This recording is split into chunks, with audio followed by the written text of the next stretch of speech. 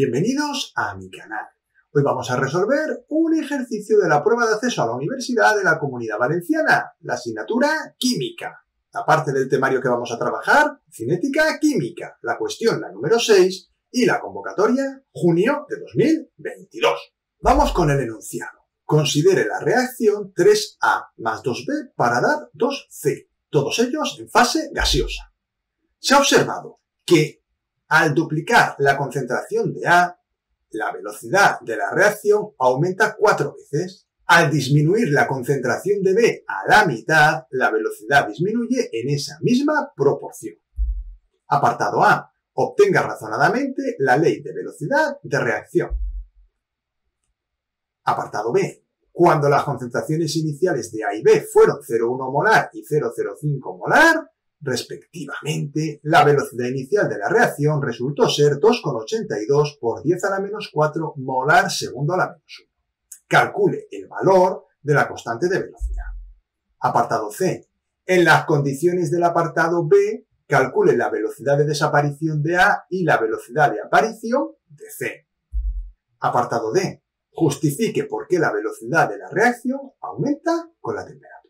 Bueno, como veis, cuatro apartados de este ejercicio de cinética química que vamos a ir resolviendo uno por uno desde ya mismo.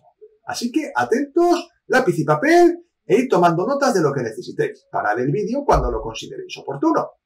De forma general, se puede escribir la ley de velocidad de reacción tal como acabo de poner en pantalla. Velocidad igual a constante de velocidad por la concentración del reactivo A elevado a alfa, no a 3, no, no, no, no, no, a alfa.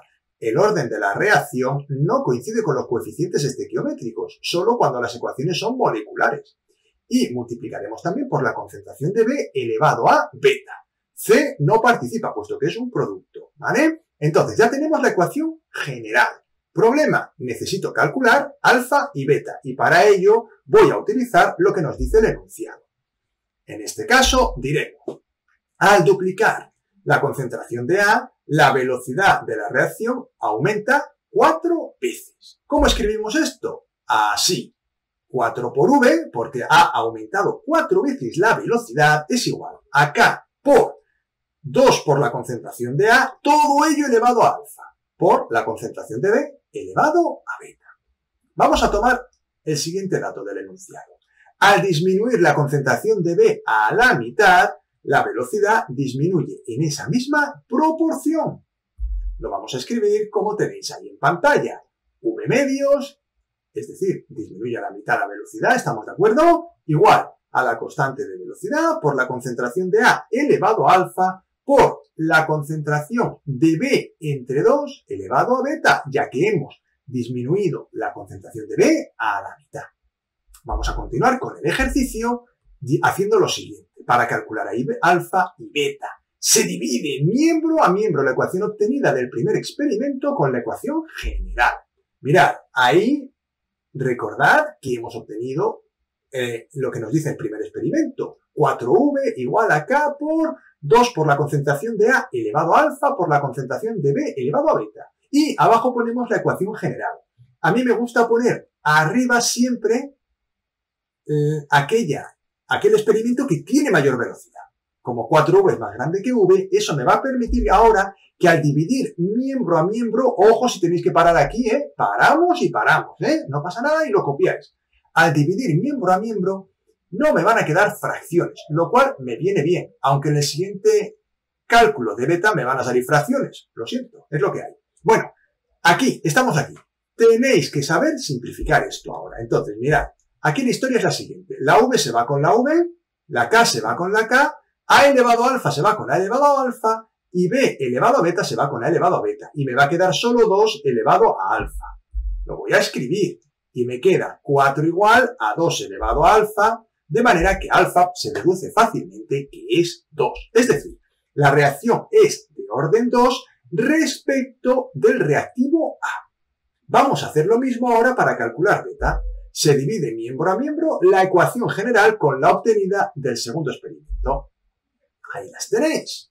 Dividimos y de nuevo, atentos a la simplificación. La velocidad se va con la velocidad, la constante de velocidad con la constante de velocidad, la concentración de A elevado a alfa con la concentración de A elevado a alfa y la concentración de beta con la concentración de, de beta no, de B elevado a beta, ¿eh? ¿vale? Que no sé ni hablar, ¿vale? Que entre la B y la beta ya me he liado, ¿vale? Importante, nos queda 1 dividido un medio igual a 1 dividido un medio elevado a beta.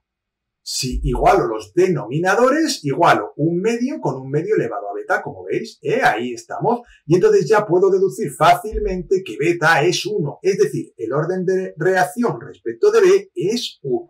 Y vamos ya rematando el ejercicio. Bueno, el apartado, más quisiera yo que fuera el ejercicio. Se puede escribir la ley de velocidad de reacción de esa manera. Velocidad igual a K por la concentración de A al cuadrado por la concentración de B. Y diremos también, para completar, que las reacciones de orden 2 respecto de A, de orden 1 respecto de B y su orden global es 3, la suma de los órdenes de reacción. Vamos a continuar con el apartado B. Cuando las concentraciones iniciales de A y B fueron 0,1 molar y 0,05 molar respectivamente, la velocidad inicial de la reacción resultó ser 2,82 por 10 a la menos 4 molar segundo a la menos 1. Calcule el valor de la constante de velocidad. Lo que debemos hacer es despejar la constante de velocidad de la ecuación de velocidad. Sustituyo los datos directamente. La verdad es que aquí ha sido un poco baguete. Tenía que haber escrito primero la ecuación, luego despejar y luego sustituir. Me lo vais a perdonar. Yo lo pongo así y lo despejo. Creo que así para algunas personas va a ser más fácil. De todas maneras, es recomendable hacerlo todo con letras y al final sustituir. Muy importante en este ejercicio, el tema de las unidades de la constante de velocidad. Fijaos, la velocidad se mide en molar segundo. Partido segundo a la menos uno o partido segundo. La concentración molar cuando la elevo al cuadrado es molar al cuadrado o mol partido litro al cuadrado. Y cuando no está elevado, pues mol partido litro. Fijaos que esta molaridad y esta molaridad se van y nos va a quedar que la constante de velocidad es 5,64 por 10 a la menos 1 molar a la menos 2, que es este de aquí, que lo hemos puesto en el numerador, segundo a la menos 1, que es este de aquí. ¿De acuerdo? Ahí tenemos molar a la menos 2, segundo a la menos 1.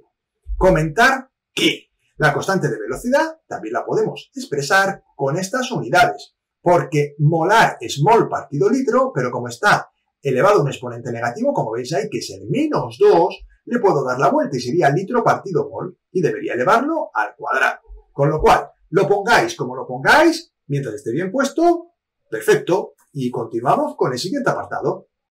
El apartado C dice lo siguiente. En las condiciones del apartado B, calcule la velocidad de desaparición de A y la velocidad de aparición de C. Bueno, en las condiciones del apartado B son que la velocidad de reacción es 2,82 por 10 a la menos 4 molar partido segundo. Recordamos la ecuación a la que nos estamos refiriendo porque nos van a hacer falta los coeficientes estequiométricos que aparecen en ella. Relacionamos la velocidad global de la reacción con la velocidad de desaparición de A y de aparición de C. Comenzamos con A, claro. La velocidad es menos un tercio de la variación de la concentración de A respecto del tiempo. Y este 3 no sale aquí por casualidad. Este 3 sale aquí de ese 3 de ahí, que lo colocamos aquí. El signo menos nos indica o lo ponemos porque esta variación de concentración es negativa.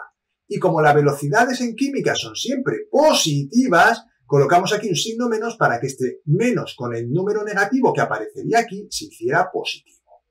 Podemos escribir esto de forma resumida como está aquí en pantalla. Un tercio por la velocidad de desaparición de A.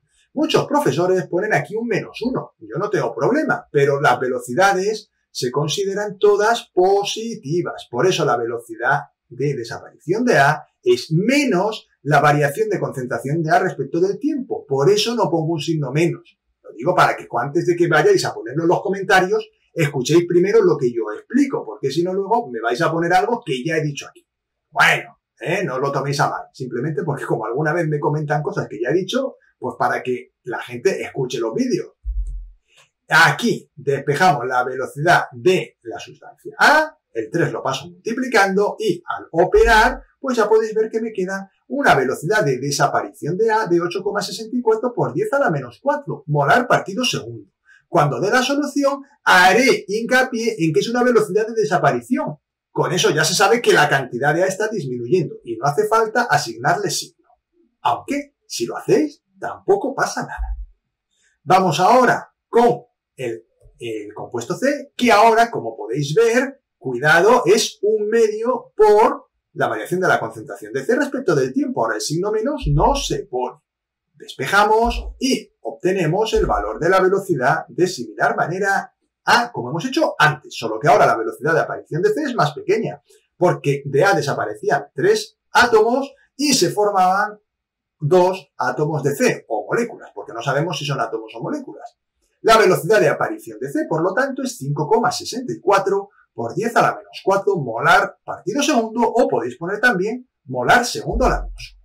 Y damos la solución tal como he dicho, matizando cuándo es velocidad de desaparición y cuándo es velocidad de aparición. Ahí tenéis el recuadro, la velocidad de desaparición de A es 8,64 por 10 a la menos 4 molar partido segundo y la de aparición de C es 5,64 por 10 a la menos 4 molar partido segundo. Vamos a terminar el ejercicio con el apartado de que es una pregunta teórica. Justifique por qué la velocidad de la reacción aumenta con la temperatura. Bueno, según la ley de Arrhenius que tenéis en pantalla, la constante de velocidad es igual al factor de frecuencia por E elevado a menos la energía de activación dividido R y T, donde A, factor de frecuencia, E sub A, energía de activación, R, constante de los gases ideales y T, temperatura. Razonaremos lo siguiente. Esto se puede hacer de muchas maneras y razonar de muchas formas. Yo he escrito esto, a ver qué os parece. Como se puede observar, la constante de velocidad depende de varios factores, como la energía de activación o la temperatura. Se puede comprobar que si se aumenta la temperatura, el valor del término exponencial aumenta. Por ello, el valor de la constante de velocidad también aumenta. Y por fin, la velocidad de la reacción también aumenta, pues es directamente proporcional a la constante de velocidad. Esta es una explicación que a mí me parece que es correcta. Se pueden dar más explicaciones. Se puede explicar que cuanto mayor es la temperatura, mayor es la energía que poseen las moléculas y mayor es la probabilidad de que al chocar se produzca reacción química y ello provoca que la velocidad de la reacción aumente. Sí, pero a mí me gusta esta forma porque se basa en una ley de la química muy importante. Y hasta aquí ha llegado el vídeo de hoy. Espero que os haya ayudado a resolver las dudas que pudierais tener. Ya sabéis que si queréis seguir recibiendo más vídeos como este, podéis suscribiros al canal y activar la campanita. También os agradecería que le dejarais un like al vídeo. Me anima a seguir creando más contenido de este tipo. Y no dejéis de compartir estos vídeos con las personas que se están preparando estos temas. Creo que les pueden ser de máxima utilidad. Y me despido. Muchísimas gracias por vuestra atención y nos vemos en el siguiente vídeo.